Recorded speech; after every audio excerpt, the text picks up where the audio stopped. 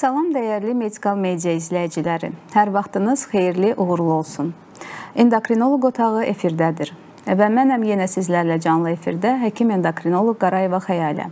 Təbii ki, studiyamızın bugünkü qonağı ilə. Studiyamızın bugünkü qonağı mənim bugünkü həmsöhbətim uzman neyrocərrah Doktor Rüyal Mehdiyevdir. Doktor, xoş gördük sizi studiyamızda. Çox sağ olun. Dəvətimizi qəbul edib gəldiyiniz üçün mən də təşəkkür edirəm sizə. Biz bugün hipofiz adenomlarından danışacağıq, yəni hipofiz vəsişlərindən danışacağıq və izləyicilərimizə də üst tutub demək istəyirəm ki, əgər sizi də maraqlandıran, bu mövzu barəsində maraqlandıran hər hansı bir suallarınız varsa, studiyamıza zəng edərək canlı bağlanaraq bizə suallarınızı ünvanlaya bilərsiniz. Studiyamızın telefon nömrələri 012 596 41 31-dir. Buyurub zəng edə bilərsiniz. Doktor, ümumiyyətlə hipofiz adenomlarına keçməzdən əvvəl mən istəyirəm hipofiz haqqında qısaca bir məlumat verim. Ümumiyyətlə hər mövzuda mən hər xəstəlikdən danışdığımda bunu etməyə çalışıram. Hı. Yəni hansı orqan xəstəliyindən danışıramsa, o orqan haqqında qısaca məlumat vermək istəyirəm. Bunun bir neçə səbəbi var. Birinci səbəb odur ki, mən düşünürəm belə olduğu təqdirdə insanlar üçün mövzu daha anlaşılır olur. Və ikinci əsas səbəb də odur ki, mən düşünürəm ki, ümumiyyətlə hər bir insan öz orqanizmini tanımalıdır, öz orqanlarını tanımalıdır və hansı orqan harada yerləşir, hansı funksiyalar var, ən azından bunu bilməlidir. Hipofiz vəz də çox vacib orqanlarımızdan biridir. Vacib bir vəzdir, belə deyim. Beynin tam mərkəzində əsas sümüyün üzərində Türkiyə hər adlanan bir çuxurda yerləşir. Çox xırda 1 sm-ə qədər hündürlüyü, 1 qrama qədər ağırlığı olan çox xırda bir vəzdir. Kiçik lobiya dənəsi boyda belə deyək bənzətmə olaraq, amma çox böyük funksiyaları var. Bütün endokrin sistemin demək olar ki, demək olar ki, dirijoru hesab olunur hipofiz vəz. Yəni belə deyim, mərkəzdə oturaraq bütün daxili sekresiya vəzlərinin işini idarə edir bir növ. Müvafiq hormonlar sintez etməklə təbii ki, özü 3 paydan ibarətdir. Ön, orta və arxa paylar. Ön və orta pay birlikdə adenohipofiz adlanır ki, müvafiq hormonlarda elə məhz bu payda adenohipofizdə daha doğrusu sintez olunur. Hansı hormonlardır? Qısaca bunların adlarını deyəcəm. Qrout hormon, somatotrop hormonu da deyirik, böyümə hormonu orqanizmin böyüməsini, inkişafını təmin edir. Daha sonra adrenokortikotrop hormondur. Bu böyrək üstü vəzdən həyat hormonu dediyimiz kortizolun sintezini təmin edir. TSH hormonu tiroid stimulə edici hormon. Bu adından da göründüyü kimi qalxanvari vəzin işini tənzimləyir. Daha sonra cinsi hormonlardır. LH, FSH, lüteinləşdirici hormon və follikul stimulə edici hormon. Bunlar da cinsi funksiyaları təmin edir orqanizmdə və son olaraq prolaktin hormonu, buna süd hormonu da deyilir, yəni süd verməni təmin edir. Müvafiq hormonlarda yaranan artıqlıq və əksiklik nəticəsində də hipofiz xəstəlikləri təbii olaraq meydana çıxır. Və hipofiz adenomları da məhz bu hipofiz xəstəliklərinin içərisində ən çox rast gəlinənidir. Doktor, istəyirəm sizə ilk olaraq belə bir sual ünvanlayım. Ümumiyyətlə hipofiz adenomu nədir? İlkin giriş olaraq istəyirəm siz bunu deyəsiz. Nədir hipofiz adenomu? Hansı növləri var? Ümumiyyətlə rast gəlmə tezliyi necədir və hansı insanlarda daha çox rastlaşırıq hipofiz adenomu ilə? Təşəkkür edirəm sualınız üçün. Mən də öz növbəmdə medikal media izləyicilərini salamlayıram. Bu sualınıza cavab olaraq belə başlamaq istəyirəm ki, insanlar bizə gəldiyində bir hipofiz adenoması ilə bizə müraciət etdiyi zaman deyirlər ki, beyində adenoma var, bu xərçəngdirmi, yəni qorxmalıyıqmı? Bəli. Amma öncəliklə bunu bildirmək istəyirəm ki, hipofiz adenomaları insanlarda çox sıx görsənir. Demək olar ki, 5 insandan birisində hipofiz adenoması olur. Hipofiz adenoması siz biraz öncə sadaladığınız kimi hormonları var onun. Adenohipofiz dediyimiz, yəni ön hipofiz payının sintez etdiyi hormonlar var. Bu hormonlar bədənin fərqli orqanlarını idarə edir. Məsələn deyək ki, TSH hormonu dediyimiz bir hormon var. O qalxana bənzər vəzin çalışmasını təmin edir. Onun əlavə ACTH hormonu dediyimiz hormon böyrək üstü vəzin çalışmasını təmin edir. Oradan kortizol hormonunu sintezləyir. Bunlarda yaranan narahatçılıqlar ola bilər. Yəni bu belə deyim, o hipofizin təsir etdiyi orqanın özündən qaynaqlana bilər və yaxud da ki, hipofiz vəznindən qaynaqlanır. Bir də hipofizin də özü hipotalamus deyilən bir yer tərəfindən idarə edilir ki, bu da beynin hipofizin üst tərəfində yerləşir. Oradan da müvafiq hormonlarla hipofizə təsir edilir və hipofiz də o orqanları idarə etmək üçün öz hormonlarını sintezləyir. Bizə bir insan müraciət etdiyi zaman deyək ki, onların hormonlarından birisində dəyişiklik olur daha doğrusu ilk sizlərə müraciət edir, endokrinoloq həkimlərimizə müraciət edirlər. Onu araşdırdıqdan sonra bu həqiqətən hipofiz vəzinnənmi qaynaqlanır? Bunun növünü də təyin etməyə çalışırsınız. Yəni öncə böyümə hormonumu sintezləyir, yoxsa prolaktinmi sintezləyir və yaxud da ki, başqa hormonlarmı? Adətən görsənənlər prolaktinom olar. Yəni birinci növbədə görsənənlər, ikinci növbədə görsənənlər isə böyümə hormon sintezləyən hipofiz vəzi adenomalarıdır. Yəni bir daha sualın başına qayıdıram mən. Yəni hipofiz adenomaları çox qorxulu deyildir. Yəni həyati təhlükəyə atma yönündən nə mənada xərçəng deyildir. Bəli. Çox nadirən xərçəng şəklində orada ola bilirlər. Amma yaratdığı fəsadlar çox ciddi olur. Ona görə vaxtında gərəkirsə dərman müalicəsindən, gərəkirsə cərrahi yolla müalicə olunmalıdır. Düz vurğulayırsınız doktor. Yəni orqanizmdə hər hansı bir kütlə aşkarlandığı zaman, xüsusilə də əgər bu beyindədirsə, insanları daha çox təşvişə bəli, salır, bəli. daha çox narahat edir. Yəni ən yaxşı hal odur ki, bu düyünlə törəmələrin əksəriyyəti xoş xassəlidir. Bunu bir daha vurğulayaq. Bir də bu adenomların müəyyən bir hissəsini də non-funksional dediyimiz, heç bir funksiya göstərməyən adenomlar da təşkil edir. Mən istəyirəm elə oradan başlayaq. Çünki ümumi hipofiz adenomları içərisinin əksəriyyətini 3də 1 hissəsini hissəsini demək olar ki, bu non-funksional adenomlar tutur. Non-funksional nəyə görə deyirik? Çünki ə, e, heç bir hormon artıqlığına səbəb olmadığına görə hormon artıqlığının gətirdiyi klinik əlamətlər vermir və funksiyasız, klinikasız, belə deyə ilk etaplarda keçir. Bu xəstələr heç bir şikayət vermədiyinə görə çox vaxt rast gələ müayinələr zamanı hər halda siz də aşkarlayırsınız Hə. və o zaman aşkarlaya bilirik ki, artıq bu kütlə böyüyür. Adenomların ölçüsünə görə birinci onu deyim mikro və makroadenomlar olur ki, 1 sm-in altına mikro, 1 sm-in üstünə isə makroadenom olaraq adlandırırıq. Artıq həmin bu non-funksional adenomlar makroadenom boyutuna gəlincə bu zaman insanlar bunu hiss edir. Nəyə görə? Çünki bası simptomları olur. Hə. Yəni kütlə böyüdüyü üçün ətraf ə, toxumaları, orqanları belə deyim, sıxır ə, və nəticədə yaranan əlamətlərlə artıq xəstələr müraciət edirlər. Ə, mən istəyərdim hər halda beynin anatomiyasını sizin qədər, yəni bir beyin cərrahı olaraq sizin qədər mükəmməl bilən bir insanlar yoxdur təbii ki, ən mükəmməlini siz bilirsiniz. İstəyərdim ki, siz e, hipofizin yerləşməsinə görə hansı sinirlərlə, damarlarla qonşudur və e, böyüdükdə hansı bası simptomları olaraq hansı şikayətlər verir? İnsanlar nə hiss etsələr artıq burada hipofizdən şübhələnməlidirlər. Bunlar haqqında istəyərdim məlumat verəsiniz. Bəli, yəni siz non-funksional hipofiz adenomalarından bəhs etdiniz. Yəni non-funksional hipofiz adenomaları hormon sintezləmədiyinə görə onlar ilk başda, yəni mikroadenoma mərhələsində bir hər hansı bir şikayətə səbəb olmur. Bəli. Amma mikroadenom, makroadenom bəzən də div adenomalar deyirik. Yəni 4 sm-in üstünə çıxdığı zaman biz o adenomalar div adenomalar deyirik. Orada artıq nə olur?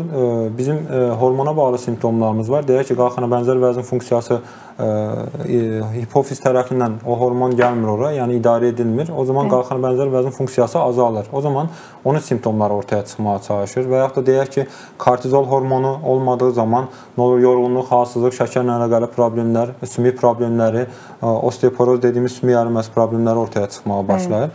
Non-funksional aden funksional adenomlarda isə çox böyüyür Deyək ki, bir insan bizə müraciət edir bir baş ağrısı səbəbilə, biz ona MRT çəkdiririk. O zaman təsadüfən aşkarlanmış olur. Və yaxud da ki, bəzən ətraf toxumalara, yəni sizin sualda bildirdiyiniz kimi sinirlərə təzyiq edə bilər. Bu sinirlər hansılardır? İnsan, yəni hipofiz vəzi, başda siz vurğuladınız, tük yəhəri deyilən bir boşluqda oturur, kəllə əsasında. O boşluğun hər iki tərəfində beynin belə vena damarları deyək, yəni kavernus sinus dediyimiz strukturlar vardır. Kavernos sinusinin içində bir neçə də görmə sinirləri keçir. Yəni görmənin təşkil olunması, göz qapağının hərəkəti, gözün hərəkətləri, 3-cü, 6-cı sinirlər, bunlar və üzümüzü idarə edən 5-ci sinir vardır, o keçir. Bu təzyiq yanlara doğru böyüyərsə əgər, o sinirlərə təzyiq olur. Bu zaman nə olur? Deyək ki, üzümüzdə keyləşmə ola bilər. Bəzən gicgah nahiyəsinə doğru böyüyə bilir. Yana doğru böyüdüyü zaman olub ki, bizə biz bizə belə müraciət edən insanlar olur. Epilepsiya ilə təzahür edə bilər. Daha yuxarı böyüdüyü zaman 3-cü mədəcik dediyimiz yerə doğru böyüyür. Orda e, beyində su yolları, mədəciklər vardır. O mədəciklər tıxanır. Mədəciklərin tıxanmasına bağlı isə hidrosefaliya dediyimiz problemə səbəb ola bilər. Bundan əlavə ə, e, alın nahiyəsinə doğru böyüyə bilər, yəni o kəllə əsasından. O zaman davranış dəyişikliklərinə səbəb ola bilər. Hı -hı. Yəni nəticə olaraq bu simptomları ə, e, hormonal ə, simptomlar, yəni hormonlara bağlı yaranan simptomlar və nevroloji simptomlar deyə ayırırıq. Ona görə də müalicəsi planlanır. Hipofizar çatışmazlıq dediniz, e, yəni Bəli. müvafiq e, orqanlarda, vəzilərdə çatışmazlıqlar yaranır. Bir də e, kütlə tə, təzyiqinə, təsirinə məruz qalan zaman eyni zamanda hiperprolaktinemiyalarla da Bəli. bəzən qarşılaşırıq. İstəyirəm bunu da bir əlavə kimi qeyd edim. Çünki bu prolaktinomalarla çox vaxt qarışır. Nəyə görə? Çünki hər ikisində prolaktin yüksək olur, amma bası təzyiqinə belə deyim, məruz qalmış halda əgər hiperprolaktinemiya olsa, bu çox uzaq rəqəmlərə getmir. Yəni prolaktin çox yüksəklərə qalxmır. Hər halda siz də məni təsdiqlərsiniz. Mən maksimum 100, yəni çox nadir hallarda 150-200 ola bilər, çox nadir hallarda, amma prolaktinomaya bağlı birazdan biz artıq bunun haqqında ətraflı danışacağıq. Hı -hı. Olduğu zaman ə, daha yüksək rəqəmlər 300-lər, 500-lər falan görürük. Ə, bir də bunu vurğulamaq istədim və ə, bası simptomlar təbii ki, artıq Hı -hı. insanları narahat etdiyi zaman o zaman artıq ya bizlərə ya sizlərə müraciət etmiş olurlar. Ə, bir də doktor hipofiz apopleksiyası deyilən bir vəziyyət var. Bu e, təcili e, müdaxilə gərəkdirən bir vəziyyət olduğuna görə istərdim qısa da olsa bunun haqqında da məlumat verəsiniz. Yəni hipofiz apopleksiyası e, öncəliklə yəni nəyə görə təcilidir? Siz panhipopituitarizmdən bəhs etdiniz. Yəni hipofiz vəzinin çatışmamazlığı deməkdir bu. Nə olur? Hipofiz vəzi adenomaları bəzən böyüdüyü zaman öz içinə qanamış olur. Qanadığı zaman nə olur? Nəticədə adenom da olsa bu onlar hormon sintezləyən belə deyim, bir hüceyrələrdir orada o törəməyə səbəb olan. Onların funksiyası itmiş olur. Funksiya itdiyi zaman bu səfər hipofiz hormonları bir çoxu azalmış olur. Azaldığı zaman orqanlar idarə edilmir. Ona ona bağlı olaraq deyək ki, böyrək üstü vəzə hormonuna siqnal getmir, yəni asetat hormonu təsir etmir və ya da qalxana bənzər vəzə təsir etmir. Bu zaman hipofizər apopleksiya dediyimiz bir vəziyyət yaranır. Bu adətən simptomatik olur. Yəni ciddi halsızlıq, yorğunluq, hətta ə, e, belə deyim, xəstəxanası, ev şəraitində bu mümkün deyil bu insanların qalması. Xəstəxanaya yatırıb təcili reanimasiya ə, e, alınmalıdır.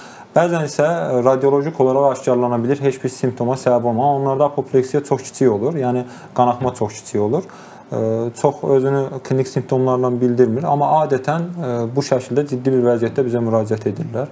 Onda təcili müdaxilə etmək lazımdır.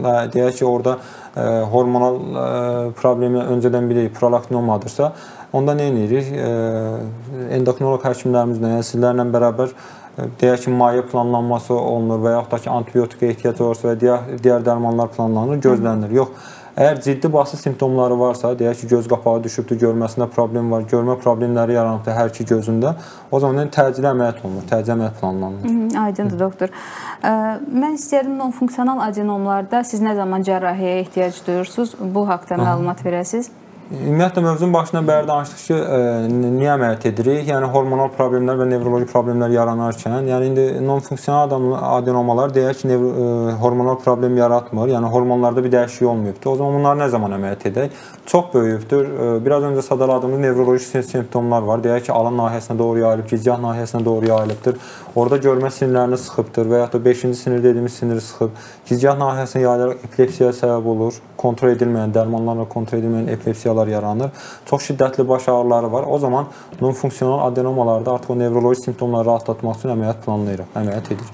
İstərdim elə söhbətin bu məqamında siz əməliyyatlar haqqında ətraflı bizə məlumat verəsiniz. Çünki həm bizi izləyənləri, həm mən özümü də əslində maraqlandıran məqam da buradır. Əməliyyatı siz necə edirsiniz və hansı növ ümumiyyətlə əməliyyatlar var və siz praktikanızda daha çox hansı növ əməliyyatlara üstünlük verirsiniz? Ümumiyyətlə nə zaman əməliyyat tərcih edirik? Yəni prolaktinomalardan danışdıq biraz öncə. Yəni indi bir daha o mövzuya toxunacağıq. Prolaktinomalar hipofiz adenomalarının 40%, 40-45%-ni təşkil edir. Ən çox təşkil edən e, prolaktinomalardır. Hı -hı. Proktomalı bir insan bizə müraciət etdiyi zaman, yəni daha doğrusu bizə müraciət edir, e, siz və yaxud da ki biz onu aşkarlayırıq ki, prolaktomadır. Öncəliklə cərrahidən uzaqlaşırıq, yəni dərman müalicələrini tərcih edirik. Yəni hipofiz vəzinin e, bir neçə alt qrup e, törəmələri vardır ki, məsələn, prolaktomalar, böyümə hormonu sintezləyən deyək ki, adenomalar və yaxud da ki qalxana bənzər və TSH sintezləyən adenomalar. Bunların içərisində sadəcə prolaktinomaları dərman müalicəsindən gözləyirik. Yəni dərman müalicəsi planlanır. Əgər olmasa yenə gələcəkdə əməliyyat planlaya bilərik. Əməliyyatlar ə, e, ilk vaxtlar 20-ci əsrin əvvəllərində başlanılıbdı. İlk başda mikroskopik yolla olub, e, daha doğrusu açıq yolla olubdu. Sonra burundan mikroskop vasitəsilə etməyə başlayıblar. Onlar daha travmatik əməliyyatlar olduğundan zamanla e, endoskop işin içinə girməyə başlayıb, endoskop əməliyyatlar etməyə başlayıblar. Endoskop nədir? Kiçik bir boru, məsələn bu qələmi göstərəcəm. Mən kiçik bir boru vasitəsilə o xüsusi kameralar olur, ucunda optik kamerası olur. arxasında bir onun kabeli olur. Biz onları insan burnundan girərək, yəni kəllə sası deyilən yerə gəlirik. Orada kəllə əsasından kiçik bir sümük götürdükdən sonra hipofiz vəzinə çatmış oluruq. Nə edirik? Bu səfər adena hipofiz deyilən yerə, yəni hipofiz vəzinin ön tərəfinə ə, gedib oradan o törəməyi xaric etmiş oluruq. Yəni adətən günümüzdə belə 90-95% hallarda endoskopik əməliyyatlar tərcih edilir. Nadirən ə, mikroskopik və ya da açıq yolla əməliyyat edirik. O da artıq törəmə çox böyük olarsa, endoskopik ə, vəziyyətə uyğun olmazsa, deyək ki, burnunda aktiv bir iltihabı prosesi var və ya da çünki burundan girib əməliyyat edirik və yaxud da başqa burun problemləri var, o zaman açıq yolla tərcih edə bilirik. Bu səfər insanlar bizə sual verir. Bəs əməliyyat etdin, burunda narahatçılıqlar yarana bilirmi? Hı -hı. Yəni endoskopun bir avantajı da budur. Yəni daha kiçik boru ilə burun toxumalarına daha az zərər verərək, Hı. yəni əməliyyat etmiş oluruq. Əlbəttə ki, bir müddət narahatçılıqlar olur, sonra keçib gedir onlar. Yəni Hı -hı. o endoskopu bağlı əməliyyatlardan sonra. Ümumiyyətlə siz əməliyyatları hər halda bir qulaq-burun həkimi ilə də bəzi ola bilər bəzi bəzi hallarda bəli, qulaq-boğaz həkiminə ehtiyacımız olur. Nəyə görə? Deyək çox mürəkkəb bir quruluşa malik burun var. Orda balıq qulaqları deyilir xalq arasında. Biz konka dediyimiz Aha. anatomik quruluşlarda Hı ciddi narahatçılıqlar var. O zaman biz lor həkim dəvət edirik, yəni qulaq-boğaz həkimi. Çünki onlar burnun quruluşunu neyrocərrahlar, necə ki biz beyni və siz məsələn endokrin sistemi, onlar da burnun quruluşunu daha yaxşı Bəli. bilirlər. Yəni o zaman qulaq-boğaz həkimlərindən konsultasiya istəyə bilirik. İntraoperativ konsultasiya dediyimiz, yəni əməliyyat zamanı olan konsultasiya istəyə bilirik. Hı -hı. Doktor, əməliyyatın başqa nə kimi ağırlaşmaları ola bilər? Yəni başqa ümumiyyətlə Beyin əməliyyatlarının hamısının ə, ən böyük ehtimallarından birisi damar yaralanması, sinir yaralanmalarıdır. Yəni hipofiz əməliyyatlarında iki yuxu arteriyasının arasından girilir, ə, bu əməliyyatlar edilir. Çox nadirən böyük damar yaralanması dediyimiz çox, yəni yuxu arteriyasının yaralanması ola bilər. Bu çox ciddi bir vəziyyətdir. Artıq günümüz texnologiyalarından bunlar ə, e, çox minimuma endirilmişdir. Amma yenə də biz əməliyyat öncəsi planlama etməliyik. O iki yuxu arteriyasının arasına girildiyinə görə oradakı məsafəyə baxılır. Əgər bu məsafə uyğun deyilsə, məsələn başda sual verdiniz ki, açıq yolla mı yoxsa endoskopik yolla mı? O məsafə uyğun deyilsə, açıq yolla əməliyyat tərcih edilir. Deyək ki, e, olub, çox nadir olur. Yəni böyük damar yaralanması oldu. O zaman e, invaziv radioloqlarımızla, yəni e, digər həkimlərlə məsləhətləşirik. Əməliyyat əsnasında qasıq arteriyasına girərək o beynin içinə, yuxu arteriyasının içinə stent qoya bilirlər. Aha. Onlar və başqa ağırlaşmalar ola bilər. Hər beyin əməliyyatından sonra az da olsa meningit riski vardır, amma bunlar əlbəttə öncədən hər şey planlanmalıdır. Hər şey vaxtında ə, müdaxilə edilməlidir. Antibiotik müalicəsinə ehtiyac varsa zamanda planlanmalıdır. Yəni endoskopik əməliyyatların digər əməliyyatlardan üstünlüyü də budur. Yəni o Hı -hı. fəsad, komplikasiyon dediyimiz ehtimalı çox aza endiribdir. Aydındır doktor. Ə, əməliyyatlara əslində yenə qayıdacağıq. Mən Hı -hı. istəyirəm prolaktinomalar haqqında ə, bir Hı -hı. qədər ə, çox ə, danışaq. Nəyə görə bunun üstündə çox dayanmaq istəyirəm? Çünki prolaktinomalarda edilən çox yanlışlıqlarla gündəlik praktikamızda qarşılaşırıq. Hər halda siz də qarşılaşırsınız. Nədir prolaktinoma? Prolaktinoma siz də bayaq dediniz, funksional adenomlar içərisində ən çox yayılandır. 40-45% hallarda rastlaşırıq. Əsasən bu adenomlar mikro və makro şəklində ola bilər. Yenə də qadınlarda daha çox mikroprolaktinomalarla qarşılaşırıq, kişilərdə daha çox makroprolaktinomalarla qarşılaşırıq ki, bunun da səbəbi var. Bir birazdan buna da aydınlıq gətirəcəm. Ümumiyyətlə prolaktinin hər bir yüksəkliyini prolaktinoma deyib qiymətləndirmək lazım deyil. İlk əvvəl bunu mən vurğulamaq istəyirəm. Çünki ümumiyyətlə prolaktin ölçümü çox həssas bir müayinə metodudur və çox faktorlar prolaktinə təsir göstərə bilər səviyyəsinə. Məsələn, əgər pasiyent qan verməmişdən əvvəl adicə bir stress yaşayıbsa, Hə. fiziki aktivliklə məşğul olubsa və yaxud da yüksək proteinli qida qəbul edibsə, bu protein səviyyələri yüksək gələ bilər qanda. Eyni zamanda ona görə biz xəstələri səhər saatlarında ac qarnına, sakit vəziyyətdə və mümkün olarsa yuxudan 3 saat sonra keçmiş halda analiz verməyə çağırırıq. Yuxu özü də fizioloji olaraq prolaktin yüksəkliyinə səbəb ola bilər. Bir sıra digər fizioloji hallar var. Məsələn, hamiləlikdir, süd vermədir. Bu dövrlərdə fizioloji olaraq yüksələ bilər. Bir çox farmakoloji ə, səbəblərdən, bir sıra dərman preparatlarının qəbulundan da yarana bilər. Bunlara ə, bir neçəsinin adını sadalasaq, məsələn, anti-epileptiklərdir, antidepressantlardır, antihipertenziv preparatlardır, təzyiq əleyhinə işlətdiyimiz. Çox da əslində sadalasaq Və bir də başqa qrup xəstəliklər var ki, onların demək klinikasını onlarla qarşılaşdığımız zaman da prolaktin yüksəkliyi ilə qarşılaşa bilirik. Bunlar məsələn bizim gündəlik praktikamızda ən çox qarşılaşdığımız hipotireoz xəstəliyi, yəni qalxanvari vəz çatışmazlığıdır. Yumurtalanan polikistoz xəstəliklərində də bəzən prolaktin yüksəkliyi ilə qarşılaşa bilirik. Bundan başqa xroniki böyrək xəstəliyi çatışmazlığı var ki, bu zaman prolaktinin atılımında problem olduğuna görə Hı -hı. qanda yüksəlir və ya da sirroz xəstələrində. Yəni bu kimi e, kateqoriyaları ümumiyyətlə prolaktin yüksək gördüyümüz zaman bunları birinci inkar etməliyik. Hı. Yəni hər prolaktin yüksəkliyi prolaktinoma-dır demək deyil. E, və səviyyəsinə də baxırıq. Əslində e, mən dediyim bu e, hallarda, yəni fizioloji haldır, farmakoloji və bir sıra digər patoloji hallarda prolaktin çox yüksəlmir. Bəli, miqdarlar Amma daha prolaktin e, prolaktinoma-dırsa e, çox yüksək rəqəmləri biz görə bilirik. Və klinikasına bir qədər toxunmaq istəyirəm, çünki fərqli klinikalar verir, yaşdan -hı. və cinsdən asılı olaraq. Premenopozal qadınlarda, yəni gənc yaşlı qadınlarda daha çox oliqoamenorreya dediyimiz menstrual pozğunluqlar və hamilə qala bilməmək, sonsuzluq şikayəti verə bilər və eyni zamanda galakteriya dediyimiz süd vəzinə süd gəlmə problemi ilə qarşılaşırlar bu cür xanımlar. Postmenopozal dövrdə isə, yəni klimaksa girmiş xanımlarda isə artıq bu şikayətlər olmayacağına görə daha çox bası simptomları ilə bu cür insanlar bizə müraciət edirlər və kişilərdə də klinika bir qədər fərqli olur. Ümumi halsızlıq, zəiflik, cinsi zəiflik, ümumiyyətlə ginekamastiya, ümumi sümük ağrıları, sümüklər, sümük sıxlığının azalması, osteopeniya, çox nadir hallarda qalakteriya, süd vəzinə süd gəlmə çox nadir hallarda kişilərdə rast gəlir. Və kişilər çox vaxtı bu şikayətlərlə heç demək olar ki, həkimə müraciət etmirlər, çəkinirlər çox vaxtı və hə, müraciət etdikləri zaman da yanlış ixtisas həkimləri, məsələn, uroloqlara, androloqlara daha çox müraciət edirlər. Bu da diaqnozun qoyulmasını gecikdirir və artıq son mərhələlərdə makroadenom şəklində elə məhz bayaq dediyim bu idi. Makroadenom şəklində artıq biz kişilərdə daha çox aşkarlayırıq. Ümumiyyətlə yanlış istiqamətlərə getməsində məsələn qadınlar da bir hamilə qala bilməmə şikayətinə ginekoloqa müraciət edirlər. Yanlış istiqamətlərə getmə əslində diaqnozun qoyulmasını gecikdirir. Buna görə də əgər prolaktin yüksəkliyi varsa ilk növbədə mütləq şəkildə təbii ki, bunu endokrinoloq dəyərləndirməlidir. Prolaktin yüksəkliyini təsdiqləyiriksə, artıq müalicəsini başlayırıq. Müalicəsində də siz də bayaq qeyd elədiniz ki, ilkin Hı. etapda dərman müalicəsinə veririk və dərman müalicəsinə də çox gözəl tabe olur. Dopamin agonist reseptorlar dediyimiz kabergalin və bramkriptin daha çox istifadə edirik günümüzdə. Onların da effektivliyi çox yüksəkdir. Yəni kabergalində Dastinex adından bunda 80-90%-ə qədər başarı oranımız var. Amma bramkriptində biraz zəifdir, 70-80 faizlərdədir. Amma yenə də dərmana e, tabe olur. Yəni dərman müalicəsinin Hə. çox gözəl tabe olur. Bəs e, ümumiyyətlə prolaktinomaları siz nə zaman əməliyyat edirsiniz? Hansı hallarda artıq prolaktinomalı pasiyent mütləq əməliyyat olunmalıdır, doktor? Bu da gözəl bir sual, doktor. Yəni demək e, siz bayaq non-funksional adenomalardan bəhs etdiniz. Onu nə zaman əməliyyat edək? Bizə belə bir sual ünvanladınız.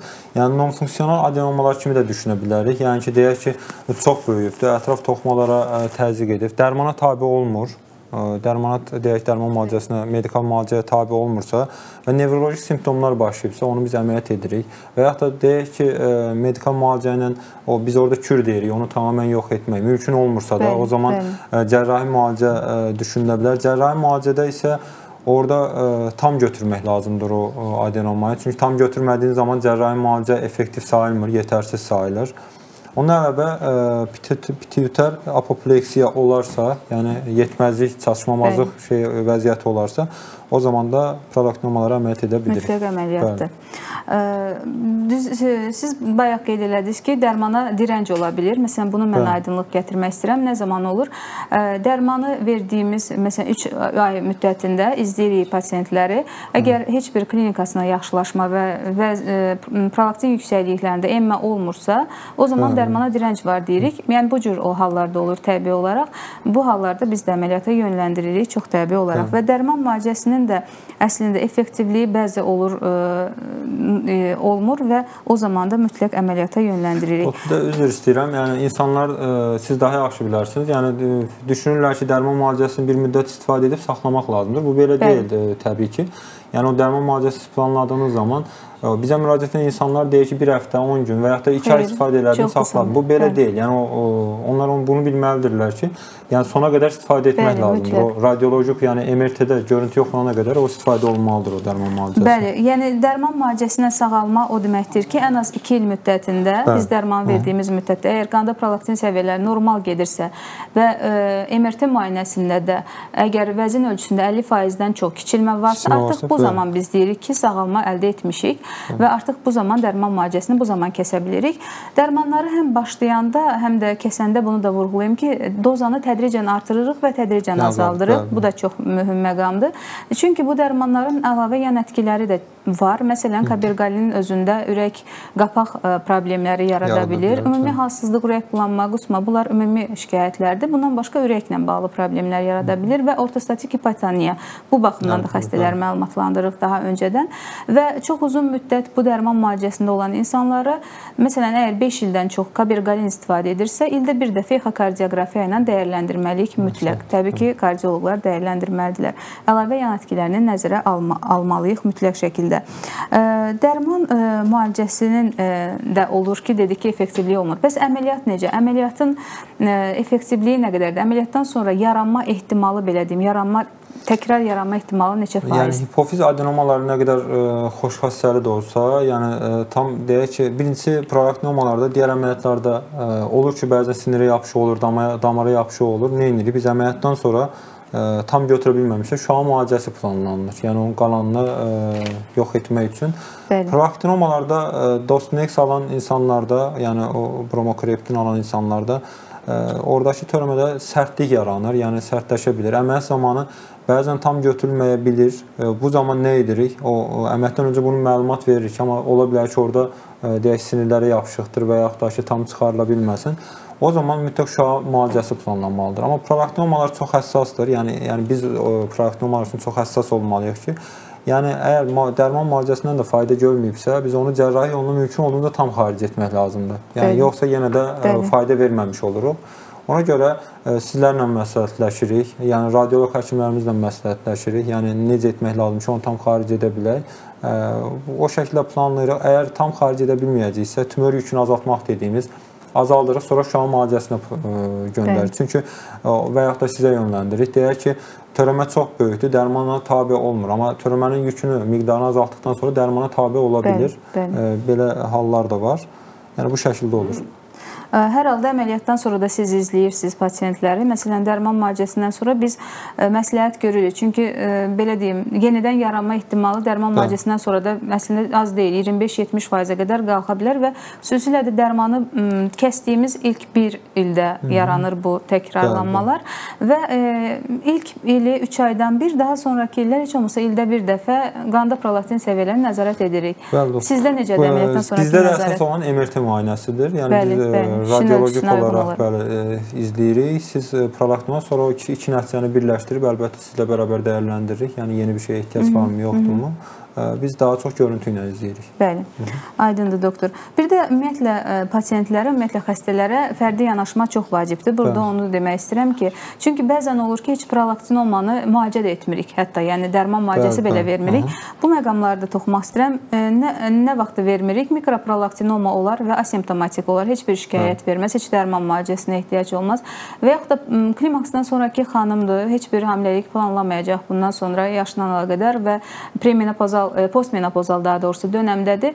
Bu zamanda dərman müalicəsi, yəni mikroprolaktinomadisə təbii ki, dərman müalicəsi vermədən izləyə bilərik.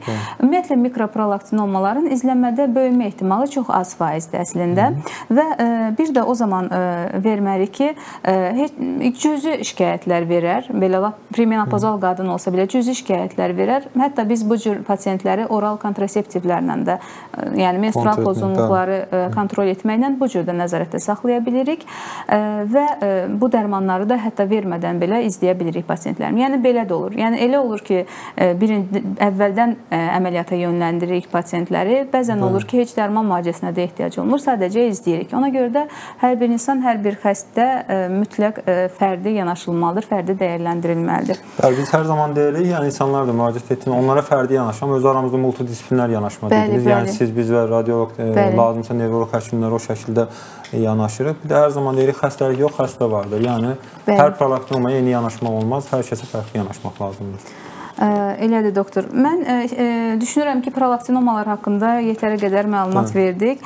Ə, daha sonra akromeqaliya xəstəliyi Hı. haqqında istəyirəm çox qısaca mən ə, məlumat verim ə, və daha sonra ə, sizə sual, sual ünvanlayacağam. Akromeqaliya ə, hipofisin somatotrop hüceyrələrindən qaynaqlanan bir şişdir və Hə. qanda ə, böyümə hormonunun yüksək səviyyələrə qalxmasına xarakterizə olunur. 95% hallarda bu ə, hipofisdəki adenomdan əlaqəli olur. Çox az bir hallarda, faiz hallarda çox e, nadir görünən genetik sindromların bir tərkib hissəsi kimi də akromeqaliya ola bilər.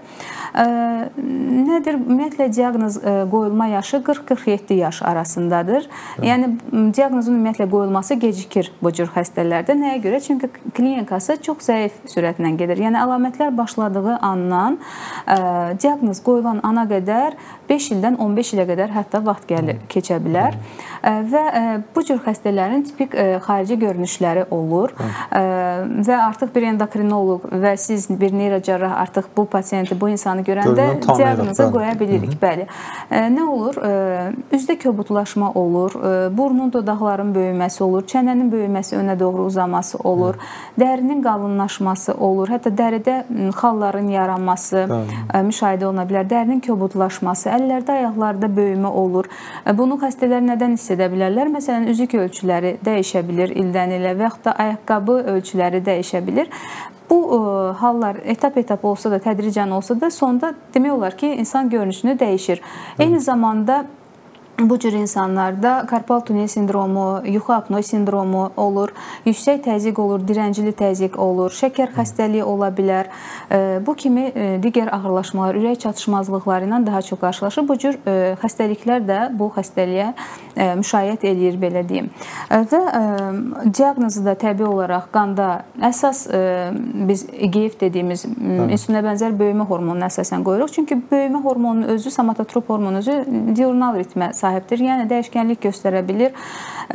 Stressdir, yuxudur, qidalanmadır. Yəni bunlar hamısı onun qanda səviyyələrinə təsir göstərə görə daha dəqiq məlumatı QIF-lə alırıq və təbii ki, müvafiq testlər etməklə diaqnozu qoyuruq və akromeqaliya diaqnozu qoymuşuqsa, bizim təbii ki, ilk seçimimiz cərrahiyyə olacaqdır. Yəni dərman müalicəsinin burada elə bir effektliyi yoxdur. Dərman müalicəsini nə zaman veririk? Cərrahiyyədən sonra əgər ehtiyac olarsa, o zaman dərman müalicəsi verə bilirik bilirik. Əsas cərrahiyyadır. Mən istəyirəm akromeqaliya haqqında sizin də əlavələriniz varsa e, deyəsiniz və əsas da əməliyyatlarından danışasınız. Deməli mən hər zaman insanlar bizə müraciət etdiyi zaman belə bir şey mən e, və yaxud da ki, də bəli, maarifləndirmə məqsədi ilə də deyir. Burada da məsələn xanımın e, bəli. alt çənəsi öndədir. Zəhmət olmasa bir öncə şəklə görə. Şəkli dayandıraq, bəli. Hər zaman deyirəm ki, Hulk filmini alınıza gətirin. Yəni o Aha. bir güləşçinin həyatından götürülübdür. Nə olur? Onda sürətlə böyümə olur. Deyək üzündə, üz xəttdən, əllərində, ayaqlarında. Hı nə olur? Kobudlaşma olur və çox böyük bir insan olur. Onun hətta Bəli. həyatından çəkilib bu film. Hı -hı. Yəni burada da gördüyümüz kimi, məsələn, alt çənəmiz öndədir. Buna prognatizm deyirik. Yəni alt çənənin çox böyük önə doğru gəlməsi. Bunun üst üst xəttləri çox kobudlaşıbdır. Yəni deyək ki, almacıq sümükləri. Onun xaricində məsələn yandaş şəkildə dodaqları görürük, çox böyükdür. Ağzın içində dil çox böyüyür, danışıqlarında pozulma ola bilər. Bəli. Onun əlavə ayaqqabı ölçülərində bu bir də ə, e, akromegaliya, bir də gigantizm var. Əgər ə, e, 18 yaşdan öncə olarsa, böyümə hormonu böyük olarsa, o zaman gigantizm olur. Yəni boyu da çox uzun olur. Hı -hı. Əgər 18 yaşdan sonra olarsa, boy uzaya bilmir, bu səfər ə, e, belə problemlər yaranmağa başlayır. Yəni bayaq siz sadaladığınız kimi, məsələn, ayaqqabı ölçüsündə dəyişiklik ola bilirlər. Hı -hı. Amma e, böyümə hormon sintezlərinin hipofiz adenomalarının, yəni belə bir xoş xüsusiyyəti var. Cərrahiyyədən həmin sonra kiçilməyə başlayır. Yəni Hı -hı. E, xüsusilə xanımlar çox əhəmilidir. Deyək ki, əvvəl e, gözəl bir xanım olubdu. Hipofiz böyümə hormonu sintezləyən bir hipofiz adenoması var. Growth hormon sintezlənib.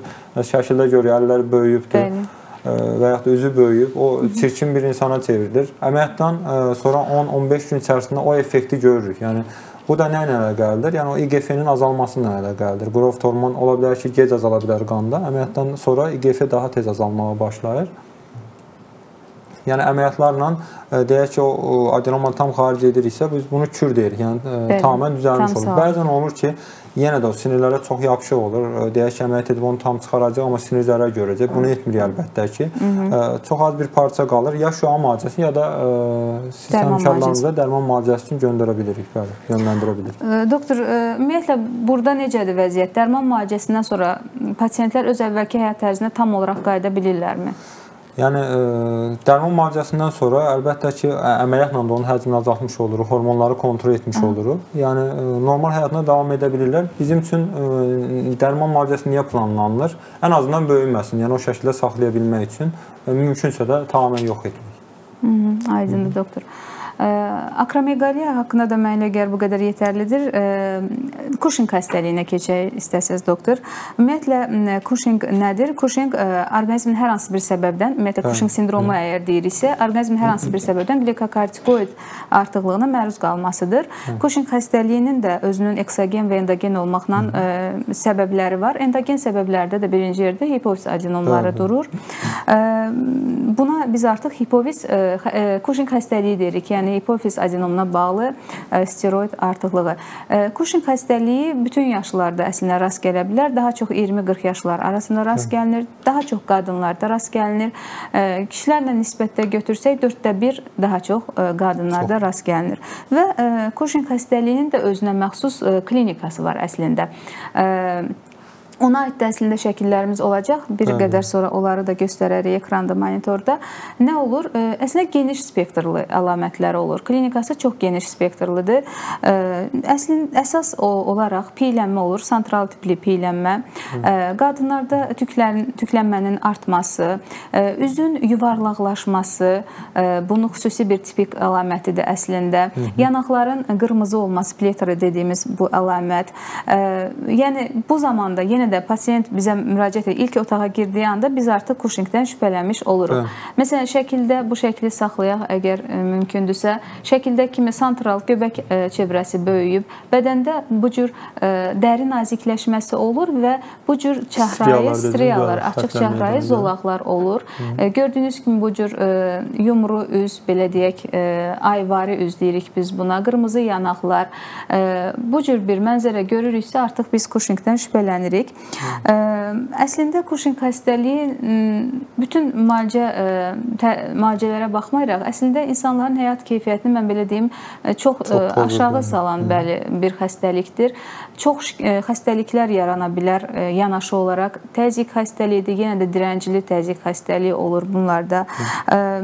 Şəkərli diabet yarana bilər bu cür pasientlərdə və insanların əmək qabiliyyətinə çox təsir edən bir xəstəlikdir. Kushing xəstəliyi haqqında sizin də əgər əlavələriniz varsa, diaqnozu necə qoyursunuz ümumiyyətlə Kuşun xəstələrində? Hansı testlər aparırsınız? Biz hər zaman dediyiniz kimi e, bir insan bizə müraciət etdiyi ilk öncə onun fenotipinə baxırıq. Bəli. Yəni xarici, zahiri görünüşünə baxırıq. Yəni zahiri görünüşündə məsələn burada e, xanımda üz, üz çox böyükdür. Üzdə e, akne, aknelər var. Bu da hormonla əlaqəlidir. Ondan bədənində xətlər var. Bunlara Burada da çox aydın görünür. Striya dediyimiz xəttlər var bir öncəki şəkildə boynun arxasında e, dəvə örgücünə bənzər bir şəkildə yağ bəli, təbəqəsi bufala. olur. Bəli, bəli. bufala hamp deyirik ona. Bəli. Elə görünüş ola bilər. E, təzyiq problemləri dediyiniz kimi çox kontrol edilməyən təzyiqlər bəli. olur. O zaman e, normalda hipofiz adenomalarını əməliyyat etdiyimiz zaman biz 1 sm-in üstünə çıxırsa da, bəzən heç bir simptoma səbəb olmasa belə biz əməliyyat məsləhət görə bilirik ki, e, iləride daha ciddi şeylərə, simptomlara səbəb. Burada bu flahampı görürük. Bəli. Yəni izləyicilərimiz də görsün deyə. Bəli, dediyiniz. Bəli. Deyək ki, e, bizə müraciət etdi, hormonları yüksəkdir, 1 sm-in üstündədir, biz əməliyyat edirik. Amma Cushing e, hormonu, yəni kortizol hormonu sintezləyən e, hipofiz adenomalarında daha doğrusu ACTH sintezlənir. O da böyrək üstü vəzə kortizol sintezləyir. Bu şikayətlərə səbəb olur. Mikroadenomalar belə əməliyyat etdiyimiz olur. Nə olur? Deyək ki, dərmanlarla kontrol edilməyən təzyiqlər olur. Bu Bəli. əlavə şikayətləri, problemləri düzəlmir. O zaman məcbur cərrahi yol tərcih edilə bilər. Parsial hipofizektomi dediyimiz, yəni hipofizin bir hissəsi götürülə bilər. Hı -hı. Burada önəmli olan, yəni o sintez, hormon sintez edən tərəfi götürmək lazımdır əməliyyat zamanı. Bəli. Bunun əlavə analizləri var, əlbəttə ki, o analizlərlə dəqiqləşdirilir. sizlə bərabər dəqiqləşdirdikdən sonra nə edirik? O hipofizin yarısını götürə bilirik ki, onları kontrol etmək üçün. Amma bu hipofiz adenamaların ən bəlalısı, ən problemlisi təəssüf ki, asetaj sintezləyən hipofiz adenamalardır. Çox ciddi problemlər səbəb olur müalicələrlə ən belə deyim, düzgün, ən doğru, ən ağır müalicələrlə belə 80-85% kontrol edə bilirik onları. Hı -hı. Yəni çox bəzən kontrol etməyə bilirik. Doktor, bəs əməliyyatdan sonra e, nəyə əsaslanıb e, deyə bilirik ki, artıq sağalma var? Yəni qanda hansı laborator analizlərə, nələrə nəzarət etməliyik? Yəni orada e, əslində kortizol hormonu bayaq siz böyümə hormonunda dediniz ki, diurnal ritmə sahibdir. Kortizol hormonu hər şeylə dəyişə bilər. Bəli, yəni bəli. bir stres olar, miqdarı dəyişər. Bəli. Yəni günün Hətta dərman fərqli... preparatlarını bəzi qrup dərman preparatlarının istifadəsindən bir çox şey bunun miqdarını dəyişə bildiyinə görə onu biz 24 saatlıq silikdə miqdarına baxılır. Yəni 24 saatlıq miqdarına baxıldıqdan sonra O şəkildə, yəni deyək ki, bunlarda ə, e, əməliyyatdan öncə miqdarı, əməliyyatdan sonrakı miqdarı, bir də əlbəttə klinik olaraq simptomlar vacibdir. Radioloji e, daha doğrusu görüntüsü vacibdir. Bəli. Radiolojik olaraq əməliyyatdan öncə nə var idi, əməliyyatdan 1 ay sonra nə var, nə qədər götürmüşük, bunların hamısını görmək olur. Əsas bizim üçün vacib olan odur ki, şikayətləri düzəlsin. Şikayətləri düzəlirsə, demək ki, əməliyyat uğurlanılıbdır. Aydındır doktor. Bir də əməliyyatdan əslində sona doğru yaxınlaşırıq. Əməliyyatdan Hı. sonrakı izləm haqqında mən istəyirəm bir qədər də məlumat verək. Əməliyyatdan sonra sizli bizli mən deyərdim həm endokrinoloq, həm neyrocərrah mütləq şəkildə xəstəyə nəzarət etməlidir, birgə yanaşmalıdır.